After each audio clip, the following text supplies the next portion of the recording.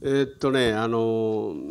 ネガティブシンキングじゃなくてポジティブシンキングであれって言うのは簡単だけどなかなかみんなねポジティブにはなりにくいやっぱりどうしてもねネガティブの方が先行しちゃうんでそのネガティブをもう断ち切ってねもうともかくポジティブ常にポジティブにそうした方が人生絶対得だし道は開ける。でこれはまあ今の年になって言えるんだけどやっぱりネガティブシンキングなんていうのはあんまり得することはないんでうん、やっぱり周りも含めてポジティブで常にポジティブでいこうという気持ちでぜひ皆さん頑張ってほしいと思います。